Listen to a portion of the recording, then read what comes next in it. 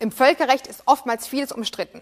Im Falle der russischen Invasion in die Ukraine fällt das Verdikt jedoch, was auch die internationale Reaktion bezeugt, zweifelsfrei aus.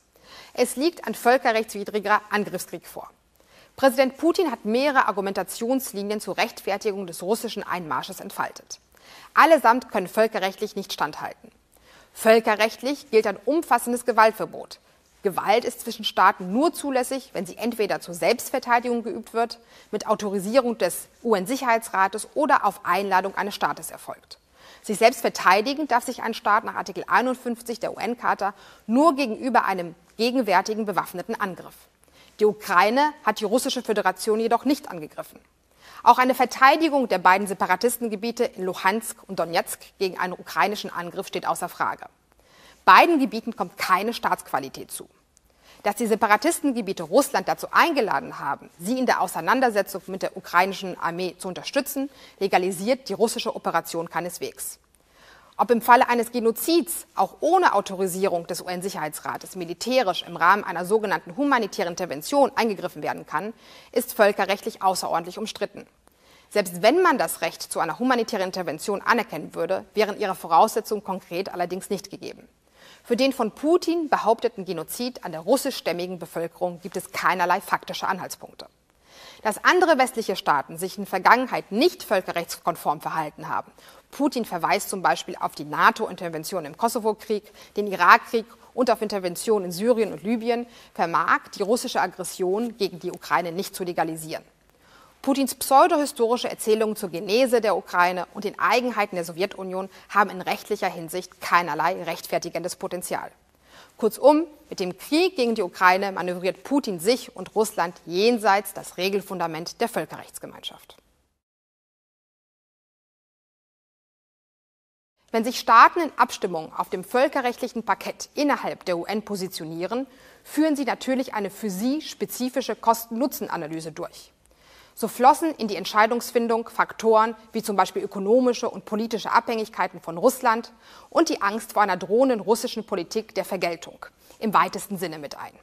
Ein weiterer Aspekt ist eine allgemein kritische Grundhaltung einiger Staaten gegenüber einer westlichen Doppelmoral im Hinblick auf militärische Intervention. Umso bemerkenswerter ist es, dass sich nur fünf Staaten, Weißrussland, Nordkorea, Eritrea, Syrien und Russland selbst, gegen die Resolution der Generalversammlung gestimmt haben. Beachtlich ist ferner, dass klassische Verbündete Russlands wie Kuba und Nicaragua oder Staaten, die stark abhängig von Russland sind, wie etwa Kirgisistan, Tadschikistan oder Kasachstan, sich lediglich enthalten haben.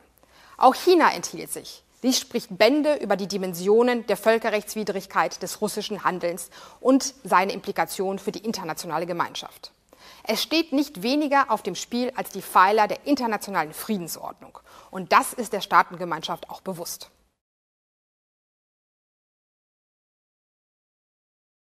Im Rahmen des Beschlusses hat das Gericht zum einen festgestellt, dass seine Zuständigkeit zumindest prima facie, das heißt auf den ersten Blick hin denkbar scheint und die von der Ukraine geltend gemachten Rechte hinreichend plausibel dargelegt wurden.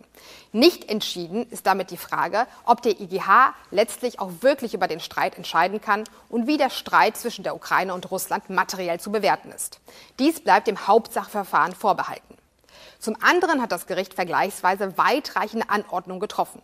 Russland soll, so die 13 zu 2 Entscheidung, unverzüglich die am 24. Februar 2022 begonnenen militärischen Operationen auf dem Gebiet der Ukraine einstellen und sicherstellen, dass weder militärische noch von Russland kontrollierte irreguläre Verbände weitere Schritte zur Vollziehung eben genannter militärischer Operationen ergreifen.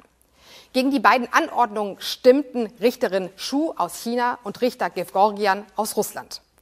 Zudem sollen nach einer einstimmigen Entscheidung des Gerichts beide Seiten jegliche den Konflikt verschärfende oder ausweitende Handlungen unterlassen. Diese Anordnungen sind trotz ihrer vorläufigen Natur verpflichtend. Zu deren Durchsetzung könnte auch der UN-Sicherheitsrat tätig werden, so denn er in deren Nichtbefolgung eine Bedrohung oder einen Bruch des Friedens sieht. Hier stellt sich jedoch wieder das Problem der russischen Veto-Option. Bedeutungslos ist der Beschluss jedoch keineswegs. So stellt er höchstgerichtlich fest, dass jede gewaltsame Handlung Russlands auf ukrainischem Gebiet völkerrechtswidrig ist.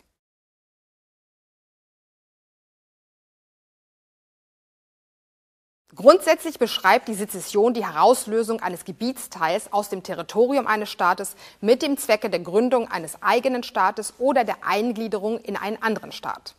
Unterstützen Staaten eine Abspaltungsbewegung, indem sie ihr Staatscharakter attestieren, so verstoßen sie grundsätzlich gegen das Interventionsverbot.